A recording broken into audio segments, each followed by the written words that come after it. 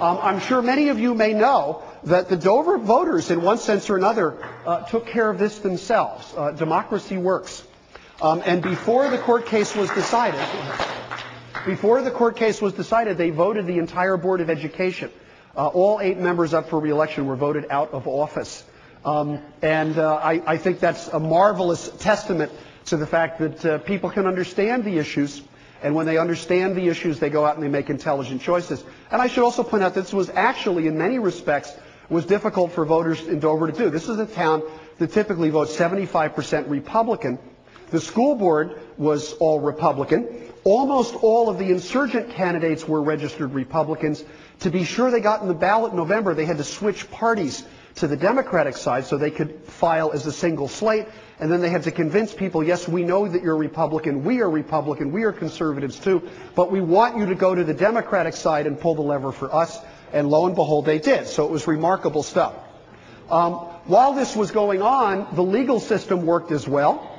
Um, and at the end of the trial, uh, the federal judge who uh, rendered this verdict, uh, John Jones, uh, basically ruled that intelligent design was unconstitutional his verdict was sweeping. And that is, he not only uh, ruled on the narrow issue of whether this was appropriate, he ruled on the broader issue of whether intelligent design was actually a legitimate scientific idea that belonged in the classroom at all. Um, these are some pictures that were taken from the ruling. These are some of the winning plaintiffs. The case has the name Kitzmiller et al., based on Tammy Kitzmiller here, who was the first lead plaintiff and I would invite any of you who are interested in this decision to read it. It's very readable. In fact, parts of it, as I will show you, are very funny. Um, and if you just do KITZ, K-I-T-Z Miller, on Google, you will find it right away on the web, and it's floating around. This is Judge Jones. One of the things I got a kick out of was the insistence uh, by some people who didn't like the verdict that Judge Jones was another one of those darn liberal activist judges. Um, this is a cartoon talking about this exact point. Um, I'll blow this up a little bit. Um, and this is the sort of thing we have to appoint more church-going Republican judges. And this person who presumably knows Judge Jones says, uh, by the way, he is a Bush-appointed church-going Republican judge. Uh, judge, uh, judge Jones is a political protege of former Governor Tom Ridge of the state of Pennsylvania, and Judge Jones was recommended for the federal bench by Senator Rick Santorum in Pennsylvania. So any notion, any notion that Judge Jones is a liberal activist judge is belied by who his sponsors were and also by his judicial record. He's simply, I am convinced, someone who is bright, who is intelligent, and who understands the meaning of the Constitution.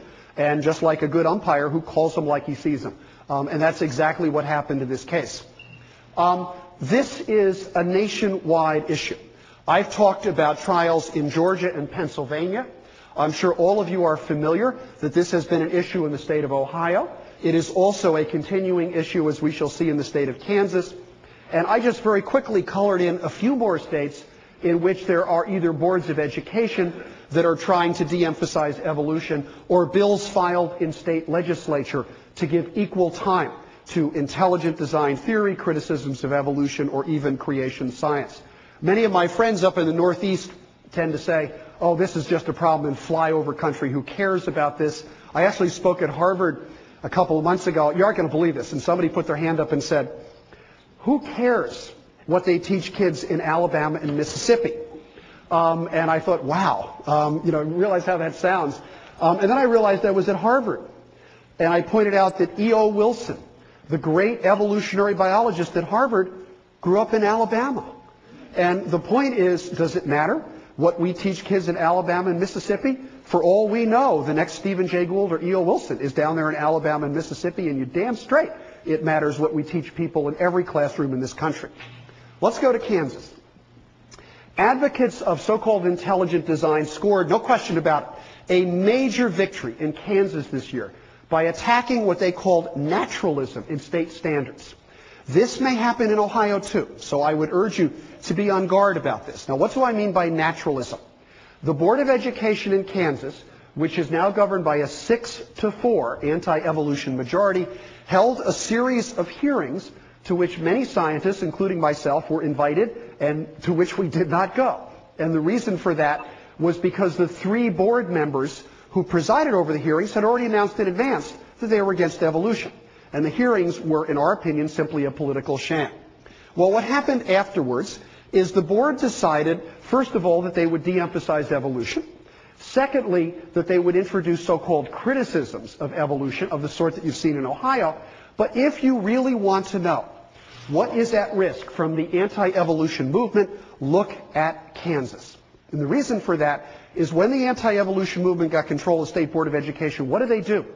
They rewrote the definition of science itself. Not just biology, not just evolution, science. All of a sudden, they're getting the chemists upset. They're getting the physicists upset. They're even getting the geologists, who paid no attention to anybody, upset on this issue.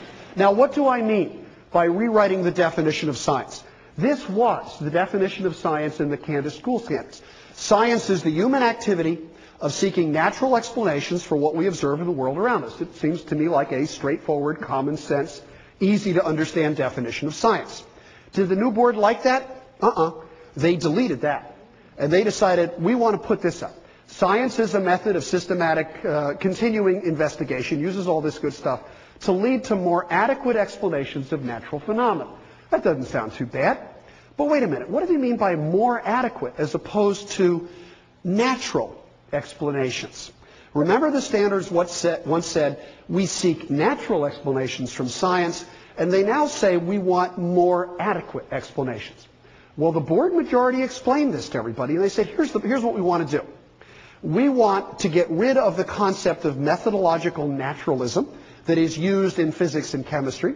Um, and basically, we think that what naturalism does is it limits inquiry and permissible explanations and promotes the philosophy of naturalism. In short, we want to open science up to non-naturalistic explanations. Now, I want you to think about that for a second. What is a non-naturalistic explanation? I can't think of anything except the supernatural explanation. Supernatural explanations may be correct. Remember, I live in New England. A lot of people who looked at the baseball playoffs in 2004 could, could see the hand of God in the success of the Red Sox. And you know what? I, I think that might be true. I think God might have had his fill of George Steinbrenner that year, um, and that was it. But that explanation, even if correct, is not science because it's not testable. And that's the point that is made. And the notion of promoting non-naturalistic explanations is exactly what's happened in Kansas. Now you might say, but you know, come on, shouldn't you teach both sides? Well, sure you should. But you have to realize that with many scientific ideas, when you talk about teaching both sides, what are we talking about when we talk about both sides of chemistry, neurobiology, physics, or astronomy? When you look at the other side, you might be disturbed as to what the other side is. It could be alchemy, phrenology, outright magic, or astrology. Now, this is, I, I, think most of you will agree, even if you don't like what I'm saying right now, most of you will agree that's a pretty funny cartoon. But it's, you know, it's an editorial. I mean, come on. This is an editorial cartoonist. He's taking license with the facts. Nobody really wants these things in the science classroom. And you know what? Until the Dover trial, I would have thought that too. But a funny thing happened at the Dover trial. Pay attention to this one down here. Um, and that is, where would intelligent design take the science classrooms? Michael Behe was placed on the stand under oath in the Dover trial. Michael is a professor of biochemistry at Lehigh University. He's probably the country's leading advocate of what he calls the biochemical challenge to evolution. He is very much in favor of intelligent design. He's a member of the Discovery Institute. He's been here in Ohio. On cross-examination, Dr. Behe admitted that his definition of theory was so broad, it would also include astrology. Um, and here's another thing from the same article. Um, he also pointed out, the lawyer pointed out, that astrology would come under this definition. Behe agreed with that, and the exchange prompted laughter from the court.